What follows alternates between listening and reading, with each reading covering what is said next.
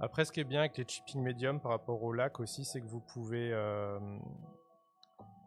vous pouvez en fonction des, produits acryliques, euh, parce que ça reste des produits acryliques qui ont été développés justement pour ça, pour permettre de maîtriser un peu mieux le, process. Et vous avez euh, différentes tailles de chipping. Par exemple, on a le Warn Effect qui est très très fin. On a le Heavy Chipping qui fait des plus grosses chips, un petit peu comme ce que je viens de faire. Si vous faites des chips comme ça sur un véhicule, ça va pas être ultra réaliste. hein.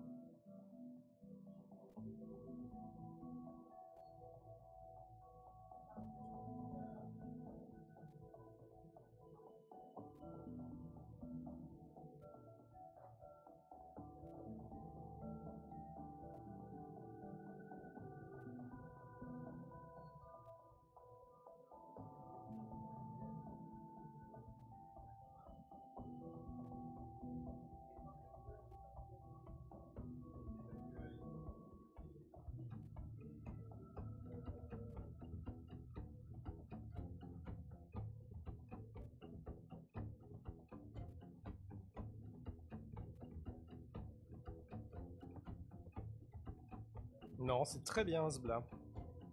Moi aussi, j'approche de la 40 piges et je peins des figurines tout le temps. Je vois pas où est le problème.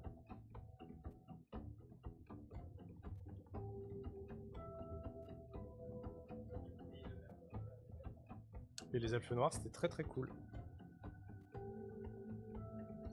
Tu aurais tout à fait raison de vouloir les repeindre.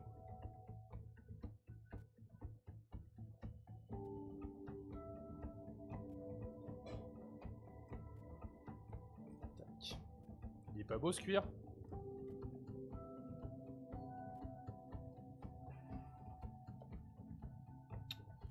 Je vais finir un dernier coup en essayant d'être le plus délicat possible, mais ce coup-ci avec un Light Earth.